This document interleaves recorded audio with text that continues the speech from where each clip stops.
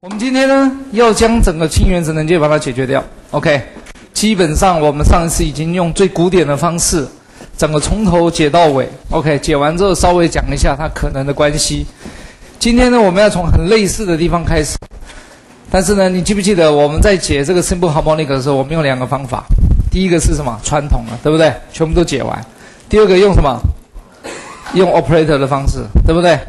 那么氢原子能阶传统的解完了，现在紧接着呢就是 operator。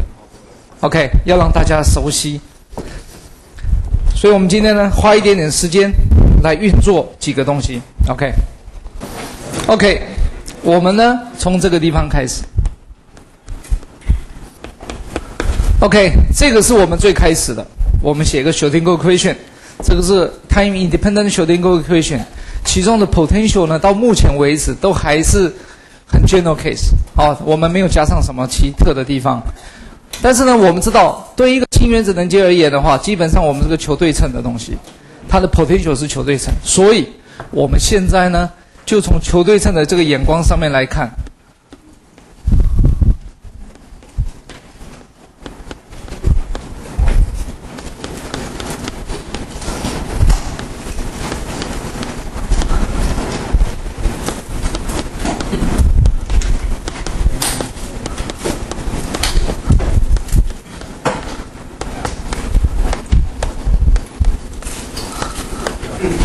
OK，我们是这个样子，对不对？好，这里面呢，现在我们要做几个符号，请大家呢把它记住一下。我们把前面的这个部分呢，跟 R 有关系，这个部分写个草写的大 R，里面呢跟着我们的 R 有关系而已。然后后面呢加上。One over r 平方，后面这边呢，我们就写个朝写的 l 的平方，就是这个样子。OK，我们把这个记下来。当然了，好，那我们现在呢，所以从这边你就可以得到对应的关系，这个等于下面，对不对？后面这一大串等于这个，我们大概知道一下。好，现在我们已经有第一个了。我们以前呢，每次在解这个偏微分方程的时候呢，我们最常用的就是一个什么什么技巧呢？我们用变数分离法，对不对？变数分离法。好，那我们现在怎么开始来使用变数分离法呢？我们就说 let c 呢，我们可以写成两个东西，请记住，大 R，记住这个大 R 的本身呢，我们并不是草写的大。OK，所以请大家记住它们的不一样的地方，它是跟 R 有关系，然后后面有个呢 Y 呢是跟 theta 跟 phi 有关系，这个是什么？我们第二个式子。所以呢，在这个时候，我们很习惯就把第二个式子带入第一个式子，那除以第二个式子。只是这样一做了之后，我们发觉前面这边有个系数项，这边有个系数项，我们希望把系数项也把它简化一下，把它移到后面去。所以我们呢，再乘上一个系数项，我们要把它除掉嘛。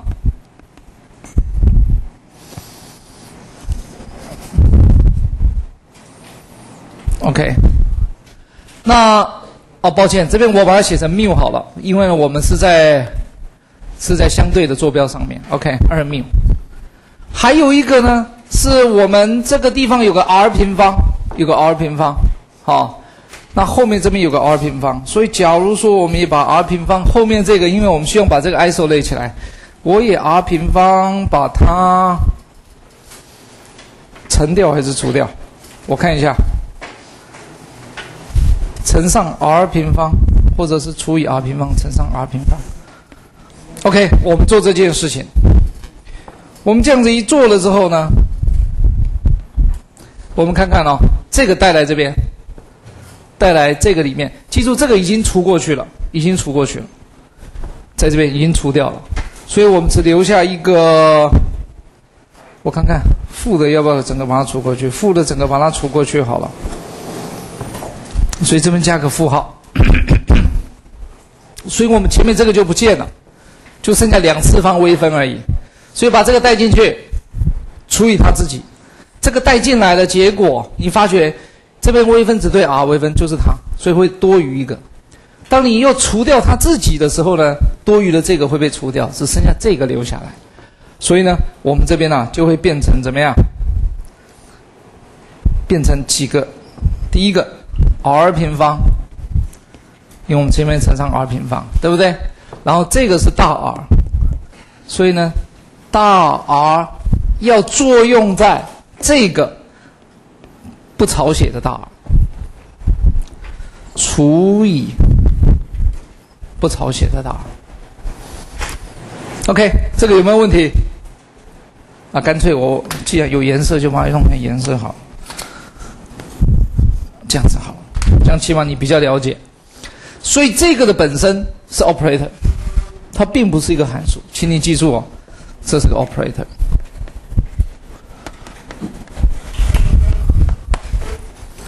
好，再来呢，再来是后面的这个，对不对？这个呢，r 平方已经乘掉了，所以没了。那么它就会变成为怎么样？它叫做 L 大 L 的平方。但是呢，它后面呢，因为我们这带进去，它只对这个作用，所以呢，我们这边写个 y，再除以自己，所以就是 y 在这边。那我们前面只是把这两项这个作用完，那这两个呢，我们知道一件事情，我们可以位移啊，移过去，这移过去是不是一减掉 v_r？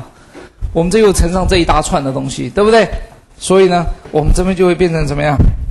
负的二缪 over h bar 平方，r 平方一减掉 v_r，我们可以写成这个样子。好，我们观察一下，这一个呢，整个都跟 r 有关系，这个呢也跟 r 有关系，对不对？因为这边有 r，这边有 r，这个呢？哎，这个就比较特别喽。这个是跟 theta phi 有关系。那我们干脆把它两边拆开来嘛。那我们不是要分离嘛？变数分离嘛？就把它给分离了，对不对？我们可以把它稍微整理一下，就变成那个样子。好，这一整理完之后，我们就发现，我们现在已经成功的将整个变数分离。右边只跟 theta phi 有关系。左边只跟 r 有关系。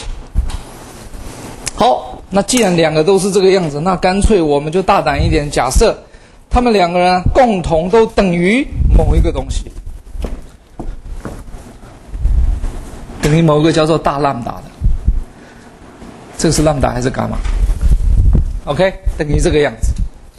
那它是什么？它是个 unknown，它到底是什么东西？不晓得。To be determined，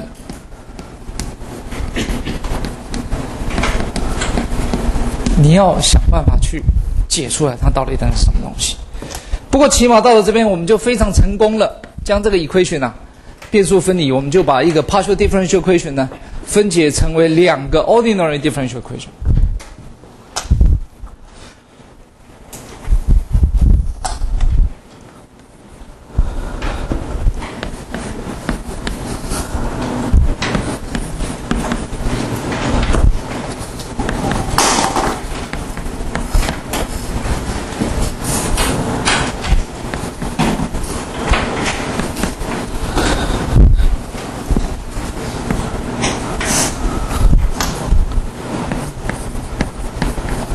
这是我们第一个分离出来的 equation，第三个式子，然后再来一个呢，就是我们 to theta 跟 phi 方向的。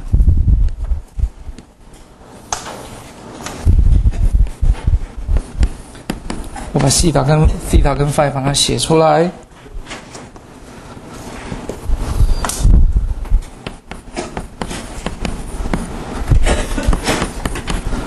OK，好，我们呢就有了这两个式子，对不对？好，有了这两个式子之后，我们稍微把它保留一下，我们来复习一下之前讲的一些东西，然后我们就开始看看我们要怎么来处理这些问题。OK，怎么来处理这些问题？而且呢，我们要透过呢我们所之前所学过 operator 的那些运作，然后我们就开始想办法把它解出来。好，所以呢，我们呢从这边先暂停哦。我们开始在右边呢会做一些复习。OK。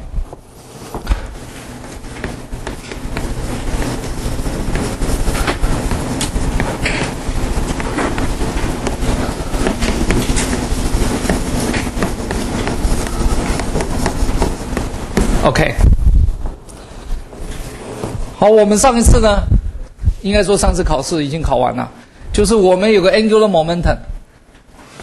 比如说这一次呢，我先这样子写，这个是我们古典的 angular momentum，就是坐标 cross momentum 线性的 momentum，对不对？所以在这个状态下面呢，我们就说 Lx 呢可以写成为 y p z 减掉 z p y。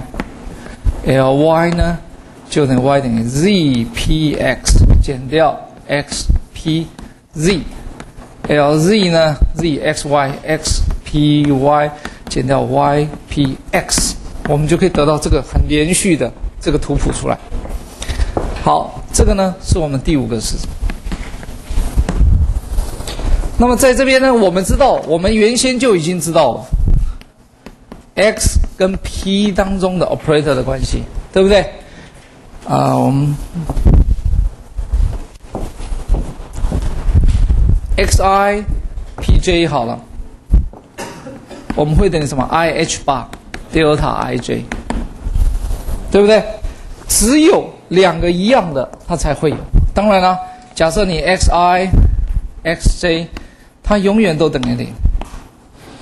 pi pj 它也永远都等于零，这些都是以前都已经教过的东西了。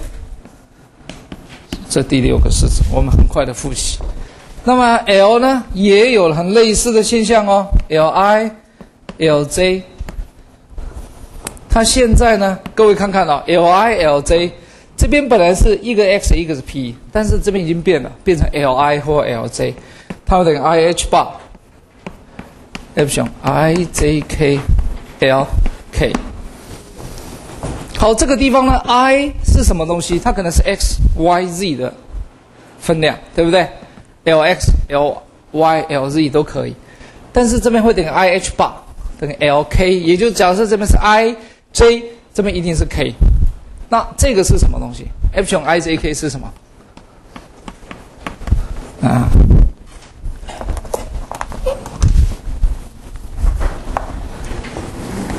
？epsilon i j k 指的呢就是一个循环 i j k。假设你是令顺时钟的循环，就是正正一。OK，逆时钟呢就是负一。所以呢，你看看我们这边是 i j k。假设呢是这个顺序的 i j k，那么它就是正一，它会等于 l x l y 会等于 i h 八 l z。所以假设是 y l y l z，那这个一定是什么 l x，对不对？反正你就是跟着它旋转就对了。那这样子呢，我们这个就很好记，就可以把它背起来。再来，我们有定义一个 L 平方，L 平方就是各个分量的平方相相加嘛。所以呢，它会等于 L i，它跟每一个。L 平方跟每一个单独的 L 当中的 commutator 通通都等于零，或者是个别的平方也通通都等于零。这个上次做过吧？是不是？OK，好，所以呢，到这边为止呢，都很简单，对不对？都很简单。我们也定义了。假如说直接把 x、y、z 我们把它转换到求坐标来，求坐标，那你是不是可以得到 x 等于什么呀？i h 八 sin phi partial partial theta，再加上 cotangent theta cosine phi partial partial phi。L y 呢？你可以写成负的 i h 八 cosine phi partial partial theta 减掉 cotangent theta sin phi，partial partial phi，以及最后一个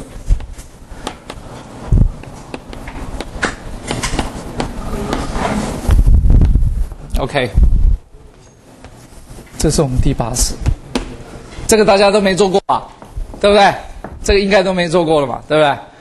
好，我记得这个没有做过，OK，homework，OK。这很简单，反正你就把 P 带进去嘛，对不对？P 带进去，但是 P 里面你要把它转换成为求坐标就对了。OK，好。有了这些，那么我们晓得 L 的平方呢，可以写成什么？本来的基本定义就是这样，在我们这边呢会等于负 h 八平方，请注意，它可以写成 L 平方。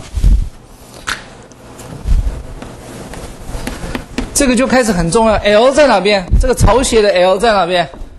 在这儿，就是这个。我们叫做草写的 L 的 operator。现在呢，我们将这个以前所学过的东西转换到这边的时候呢，我们计算大 L 的平方。请你记住，这个我干脆把它写正一点点，大 L 平方，我不要写一个圈圈在这边，免得让人家误误解了。这样子，它就开始出现，它跟这个。草写 L 平方跟大写的 L 平方，当中只差一个负 h 八平方。OK，请大家务必要将这个东西啊记起来。OK，到目前为止都没有什么问题嘛，对不对？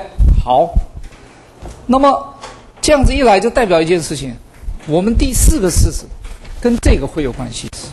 因为第四个式子呢，前面有个朝写的 L 的 operator，对着这个作用之后会变成它。那我们也知道这个呢，基本是我们要找的，对不对？好，我们来看看这两个有什么关系。比如说第四个式子，第四个式子哦，它是草写的 L 平方，我们把它草写 L 平方是不是？这样子好了，第这边前面有个负 h 八平方，我干脆把第四个式子啊，前面乘上负 h 八平方好，负 h 八平方第四个式子，所以第四个式子是不是变成负 h 八平方？然后它是草写的 L operator 的平方乘上 y，要等于怎么样？负那边本来是负的大 lambda 嘛，对不对？现在变成怎么样？我找个蓝色的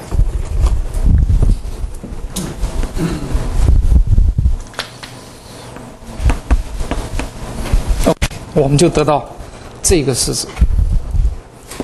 这个式子里面，我们一看呢，大家都 h 八的平方，杀掉。OK，那我们能不能把它动一下？哦，别别别别别，这个是大 L 了，杀掉就没了，所以不行不行不行不行，杀太快了，杀太快了。好来，这个不行不行，所以这个会等于什么东西？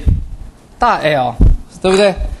所以呃，大 L，好了，这个是我用这个好了，好不好？来加强一下。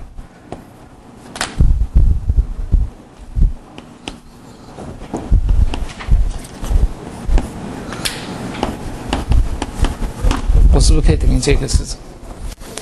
这个。就是我们第十个式子，OK，这个有没有问题？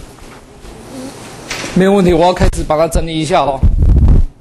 我把这边全部都把它怎么样写小一点？我要把很多东西塞在这边。那两个三跟四，那那那。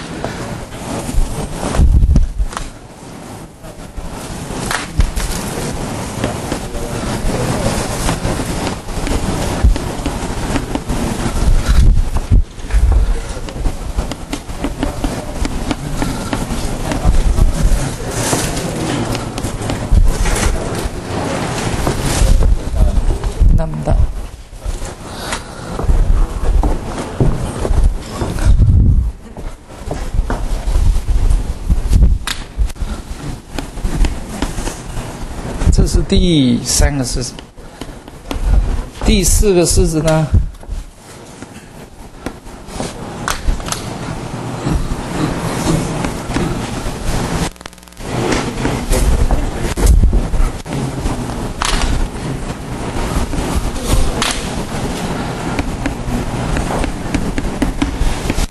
对不对？变成两个常微分方程，用了我们就不要了，我只放药，OK。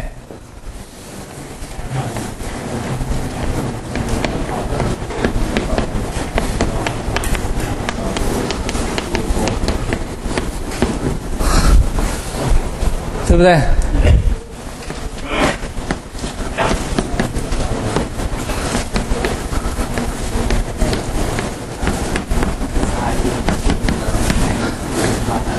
这个叫第几个式子？第七。OK。然后，L 平方可以写成为负的 h bar 平方的。草写 L 的平方，这是第几个式子？第九个式子。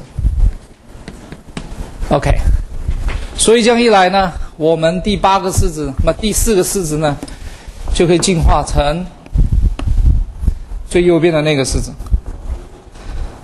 最右边的那个式子是大 L 平方 y。等于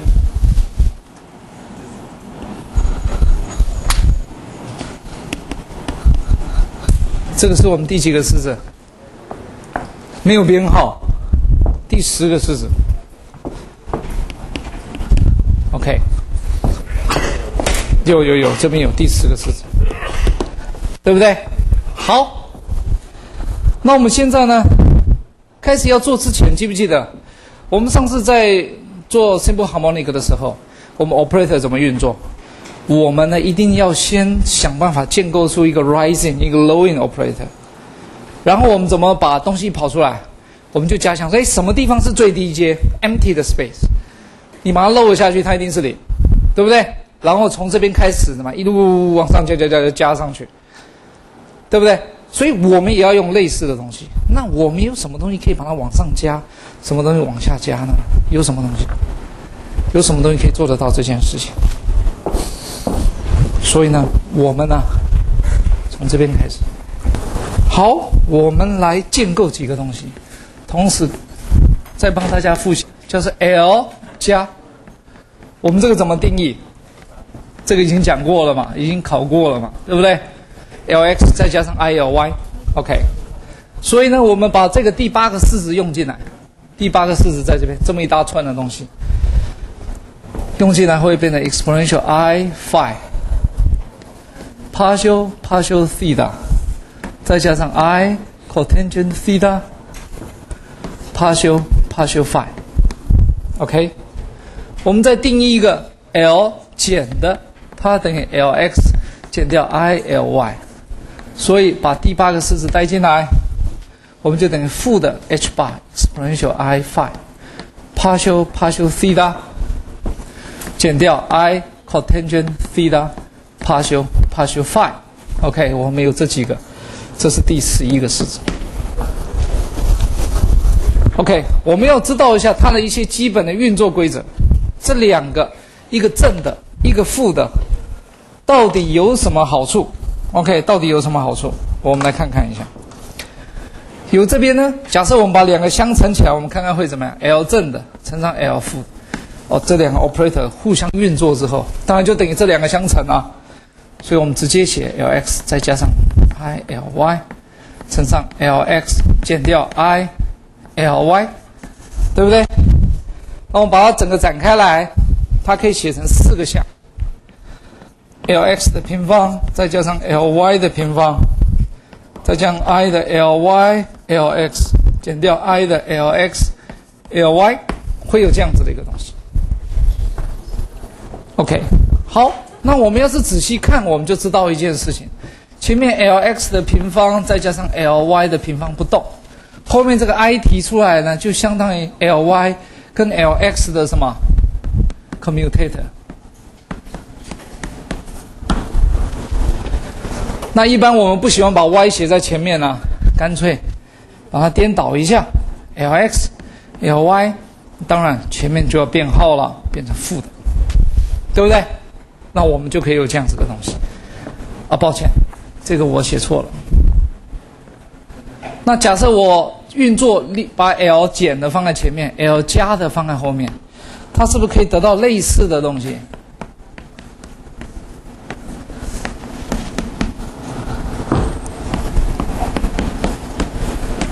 对不对？我们可以这样子嘛。所以这样一来呢，我们非常快速的，我们就可以将怎么样？这个减掉这个，是不是相当 L 加对 L 减的的 commutator？这个式子减掉下面这个式子，这一减呢，前面这个通通都不见了，前面这个通通不见，就是剩下后面的这个，后面这个会等于什么东西？负二 i l x l y。好，l x l y 会是什么东西？哎，各位请看这边，l x l y 的。commutator 会等于什么？I H bar L K，对不对？所以这边是不是可以写成为呃这样子？负二 I 乘上 I H bar L Z，对不对？所以 I I 呢相乘等于负一负负得正变二 H bar 的 L Z。哇，原来它有另外的这个功能，OK。那这个地方呢，这两个呢叫做第十二个式子，这个叫做第十三个式子，OK。我们将它呢稍稍微啊写一下，啊。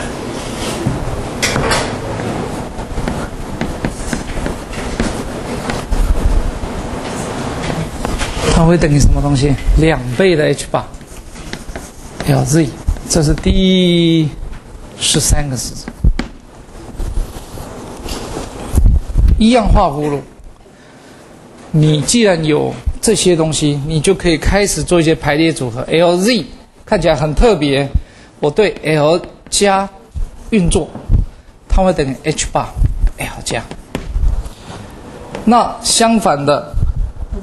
干脆这样子好了，我这边我不要把它写成两个，我把它写成一个，L 的正负，那么它就会等于什么呀？正负 h 八 L 正负，OK，它可以等于这样子，然后再来一个 L 平方对这个呢，会等于 L 平方啊，干脆不要这样子。写一个简单的式子就好了，它会等于零。这两个叫做四个式，OK。所以这些都非常快速的，你把它带进去，噼里啪啦就全部算完了。哦，这些没有任何问题。OK。啊，还有一个待会我们可能会用到的，刚刚是这两个相减变成它嘛，对不对？假如这两个相加呢？发生什么事情？所以这边是减的嘛？所以我可不可以在后面挤一个东西？用黄色的比较容易看到。这个是什么？anti-commutator，对不对？它会等于什么东西？两倍的 Lx 平方再加上 Ly 的平方。这个是第十五个式子。OK。那事实上呢，还有一个东西，我们 L 平方除了这样子写之外，L 平方呢也会跟 L 加 L 减会有关系，所以呢，我们再运作一下，L 的平方会等于什么东西？L 的平方不就是 Lx 平方加 Ly 平方加 Lz 平方吗？这个嘛，对不对？这个前面这两个 Lx 平方加 Ly 平方，是不是相当于？这个加上这个，这个加上这个的话，这边有两，有 Lx 平方加 Ly 平方，后面这个杀掉，它是不是刚好二分之一的这个加上这个，对不对？好，然后呢，再来呢，它们后面有 z 的平方，OK，所以我们这样排来排去啊，我们会变成什么东西？在这边稍微做一下，L 的平方，这个定义式先写，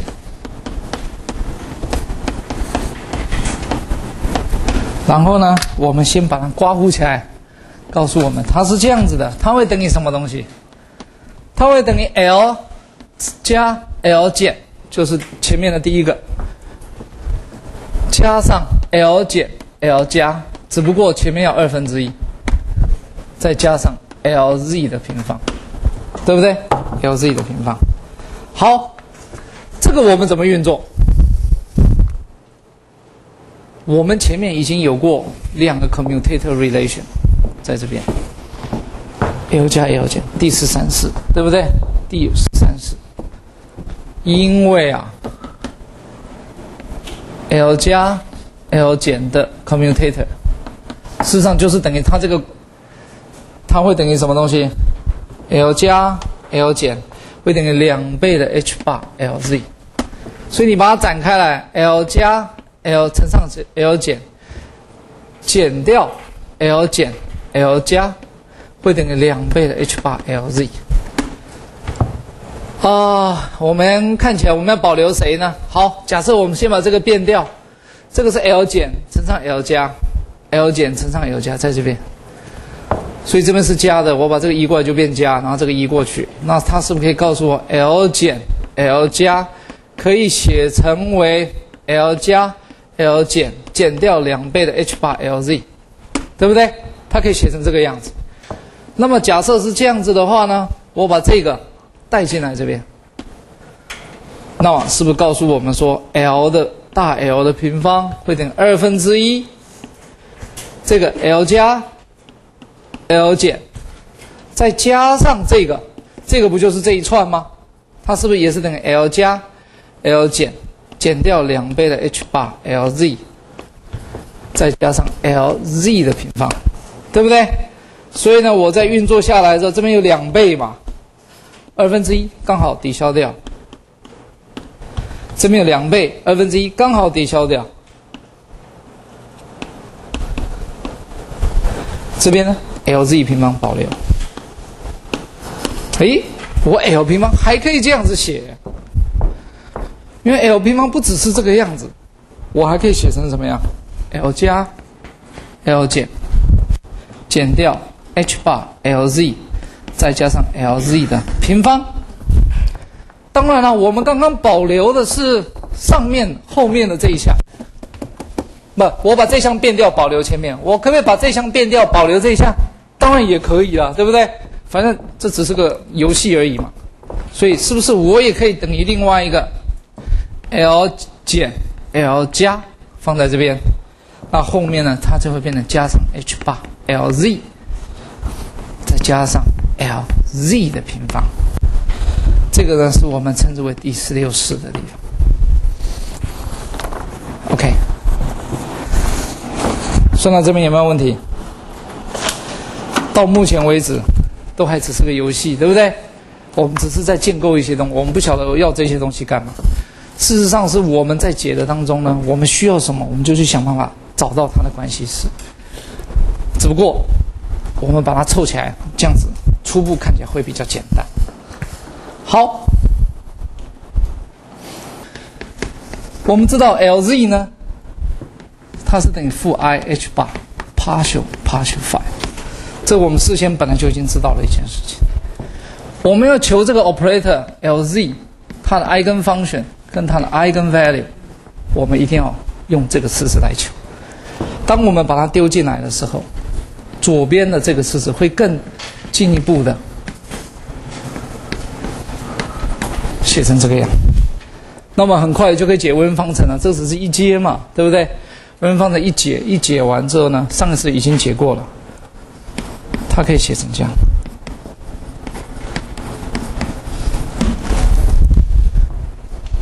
它会跟你 eigen function 本身呢，会跟 m 的整数有关系，对不对？因为它跟 phi 有关系。前面 eigen value 会等于 m h 八，right？都解完了，所以这样一来就告诉我们第十个式子呢。可以再怎么样，稍稍微，它这个是这样子，那我可不可以把它整合进来呢？因为你要知道一件事情哦，L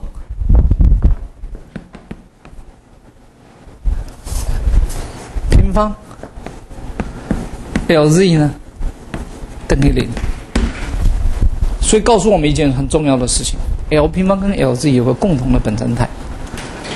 有个 intrinsic eigenfunction，有 intrinsic eigenvalue，不，eigenvalue 不一样，所以我们这个地方是用 y 来表示 L 平方的，那边是用 c 来表示 Lz 的 eigenfunction，事实上两个一样的，那我这样子为什么不把它集中在这边呢？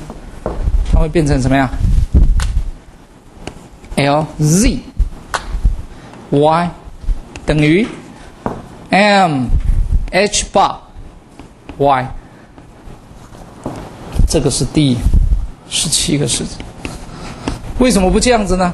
哎，但是我们又仔细一看，发觉很好玩哦。这边假设既然是跟 m 有关系，它 eigenfunction 呢有很多种 eigenfunction。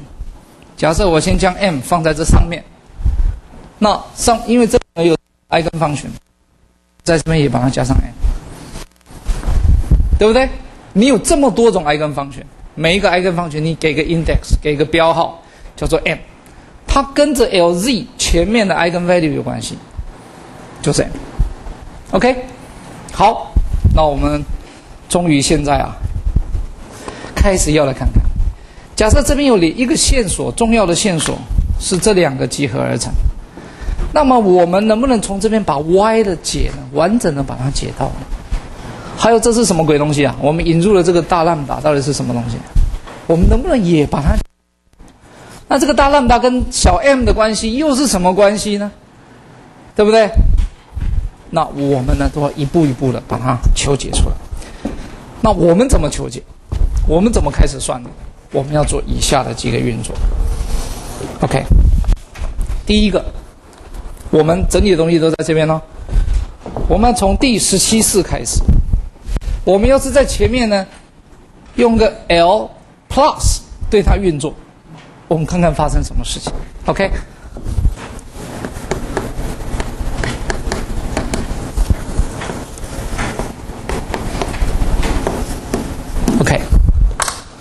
所以我们现在呢，我们把 L plus 运作在第十七个式子上面，那我们是不是 L plus？十七式子的左是 Lz y m 等于什么东西？m h bar y m，这是第十七个式子。所以我们这样一运作之后呢，这个是不是等于 L plus Lz y m？对不对？要等于什么？L plus m h bar y m m h 八是什么？它是 eigenvalue of L z 嘛，所以它是个实数，我们跟 operator 当中没有任何关系，可以把它提到前面去。它是不是可以写成 m h 八 L plus y m，对不对？我们可以写成这个样。好，这个是那个地方。这个呢，我们要怎么做？这个要怎么做？这个地方我能不能做一些游戏呀？我们看看这边，我们这边有个 Lz 跟 L 正负的这个关系是在这边，就像这边有个 L 正作用在 Lz 上面。那这个是什么呢？我们稍微把它展开来看一下，好不好？十四式里面可以告诉我们一些讯息。Lz 反正现在是 L 正嘛，对不对？我就放 L 正，它要等于什么东西？正的 h 八 L 正。所以这个是不是等于 Lz 乘上 L 正减掉 L 正 Lz 要等于 h 八 L 正？所以我们那边是什么？是这个 L 正 Lz L 正 Lz。所以呢，L 正 Lz 是不是就等于 Lz L 正减掉 h bar L 正？是不是？我们是不是可以写成这样子？那么我们就把它写成一个刮弧。LZ L 正减掉 H bar L 正 Y M。好，一个一个 apply 进来，一个一个 apply 进来，这个 apply 进来，我们会得到 LZ L 正 Y M。好，所以第一个没有问题了。第二个 apply 进来，是不是等于负的 h 八 l 正的 Y M？不要忘掉一件事情，这个等式呢是从这个开始，这个一直一直等等到这边，这个呢也等到下面，一直等等到这边，那是不是这个跟上面这个其实是一样的东西？Right？好，那我们呢就把它整理一下，我们是不是上面那个是 M H bar L 正 Y M 等于右边这一大串嘛？L Z L 正 Y M 减掉 H 八。L 正 Y M，right？好，到了这个地方之后呢，我们来看一件事情。这一边呢，大家呢，你看看哦，我这边要是我把它做个刮胡，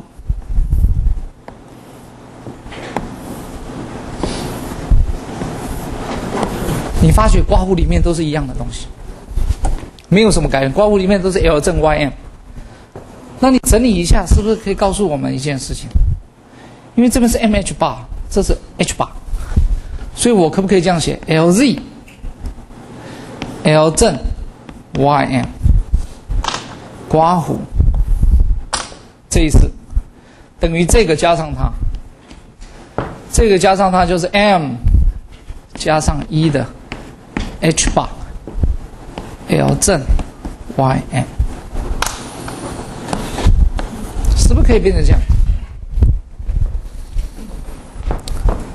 这样子一来呢，它马上就告诉我们说，L 正 Y M 的这个呢，这个函数呢，也是 L Z 的 eigenfunction，只不过它的 eigenvalue 变成 M 加一的 H 八，M 加一的 H 八。哎，假设我们跟原来的来比对一下，原来的在哪边？原来的在这边。我把它单独写出来，我们把它稍微写一下，把原来的这个式子写在这边做个比对。L Z，假设这边只是 Y M，对不对？等于 M H 八 Y M。我想问你一件事情：什么时候我写 L Z，这个地方会变成 M 加上一的？H 八，什么时候可以这样子？假设 LZ，假设 YM 是 LZ 的 eigenfunction，它的 value eigenvalue 就是 M H 八，你会发现这个 M Y 上面这个 M 跟这边这个 M 是一样的。那我可不可以这边写 YM 加一，YM 加一，是不是？诶，这样子看起来蛮好玩的哦，好像开始有一点点关系喽，对不对？所以呢？基本上这个东西它是在做作用什么？L 正一 operator 在这上面呢，也是它的 eigenfunction，只不过你要从 M 阶升到 M 加一阶上面上，同时 eigenvalue 呢从 M 变成 M 加一，对不对？OK，所以说这个很清楚的一件事情嘛，对不对？好，我可不可以再做一次？我把它给个编号，好不好？这个给个啊，是第十七，因为前面我还有编号，前面这个先不编号了。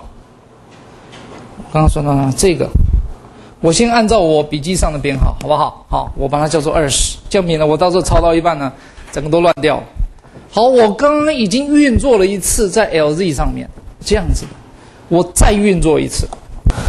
我将 L Z 呢，L 正呢，再对第二十个式子再运作一次，就这个，那我是不是可以得到 L 正？后面是什么？L Z，L 正，Y。M 等于 M 加上一的 H 八，然后呢，L 正。的平方，因为我运作两次，我是不是可以写成这个样？对不对？那这一边呢？我能做什么处理？这边有个 L 正平方哎，我希望能够想办法把它颠倒过来，变成 L 正平方啊，两边都一样。所以看起来呢，我眼光必须专注在前面的这两个 L 正 LZ，L 正 LZ 又在这边了，对不对？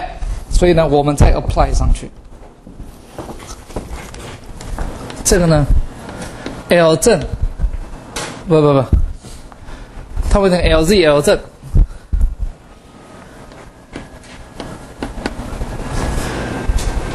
然后呢，减掉 H 八，L 正，最后再对 L 正，YM，对不对？我们运作一下，你可以发觉它会等于 LZ。L 正的平方 Ym，这个带来这边，减掉 H 八 L 正平方 Ym，这两个一定要相等嘛，对不对？我们先把它抄一次，m 加上一的 H 八 L 正的平方 Ym，要等于 Lz L 正平方 Ym 减掉 H 八 L 正平方。y m，好，我将我熟悉的部分先把它夸弧夸起来。那么我又变成我想要知道了很重要一个声音，Lz 作用在 L 正平方 Ym 会等于什么东西？这个是不是等于这个加上这个？这边有 m 加一 h 八，这边有个 h 八，所以会等于 m 加上二的 h 八。L 正的平方 Ym，哎，你看看，这什么意思？这是说，假设我要更进一步，y 的 m 加二，它的 eigenvalue 就是 m 加二的 h 八，y 的 m 加二，哎，是不是跟它一样？所以它告诉我们说，这个在运作两次在 Ym 上面呢，你还是它的 eigenfunction，只不过 eigenvalue 变成 m 加二加 h 乘上 h 八，如此而已。所以呢，我们这个一直的重复下来啊，哎。就可以做很多很多的事情，对不对？我们将一直的重复，一直的重复。所以，假最后你是不是可以得得到？假设你重复了几次，重复了伽马次，伽马次，OK 的 Ym 是不是等于 m 再加上伽马 h 八？L 正伽马次的 Ym，对不对？你就可以得到这个。假设这个是第二十二式，我们是否就可以这样写下来？Right？所以这个没有问题嘛，对不对？所以我们将这个地方啊，稍稍微把那个式子呢，再把它抄过来。所以呢，我们会有写在这上面好了。Lz L 正的伽马 Ym 次等于 m 再加上伽马 h 八 L 正伽马次 Ym，这是第二十二个式子。OK，我们刚刚做的呢，是如何把 L 正啊 action 作用在 Lz 上面。我们现在可不可以再做一次，把它 action 作用在 L 平方上面，可不可以？我把它作用在 L 平方上面。